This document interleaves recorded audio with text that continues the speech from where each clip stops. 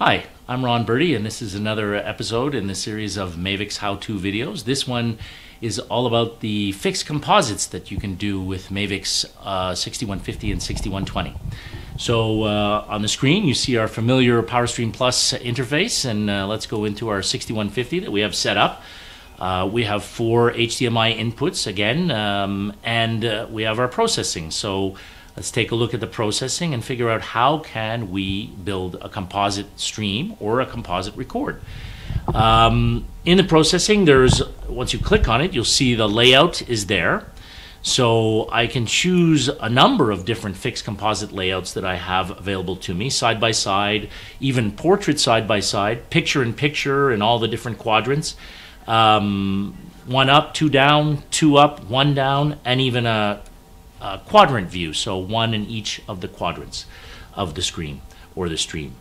Um, so in this case, let's make it simple. We'll just pick uh, one of the picture in pictures, and when I do that, my processing interface in the uh, on the left side or the main part of the screen changes. I get two sources for the stream that I'm going to build or the recording that I'm going to build.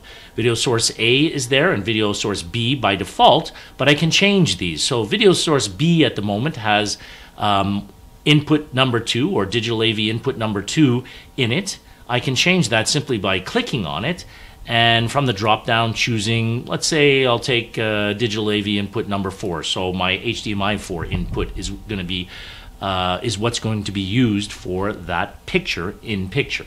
So now, okay, I look like I'm set. I'm not going to do anything special with my stream or my encoding. I'll leave them at defaults and away I go. I can simply apply. Now I'm applying.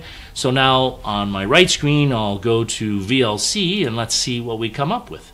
I'll open the network stream. Uh, this is the correct one. We'll play and that should pop open. And away we go with a video uh, playing in the upper right screen and the background that you see on my left screen, which is the other input that I have. So now I've done a fixed composite and away I go. One of the really neat ones that we have for this and that can be used in a we've seen used in a number of different ways going back to the PowerStream Plus side of things is if again I pick on the pick up on the processing and choose the quadrant one that I mentioned before you can have this quadrant approach and if I click on that one now I can have four different sources of 1920 by 1080 going into that um, composite view of quadrants and I can send it out either scaled down to 1920 by 1080 to save on bandwidth if I'm not interested in any particular detail there and I'm just simply monitoring.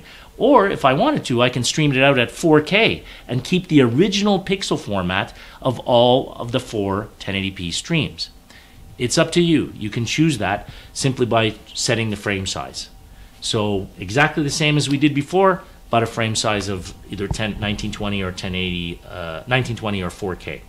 So let's play. Let's see what we see. Uh, we took the defaults. We're outputting now, and the stream stops in VLC, and I simply go back to my network stream, restart, and away we go. Now I have that setup that I mentioned before. A couple of them are exactly the same because I didn't. They went to the default inputs, but I could have streamed anything in this case. And there we are.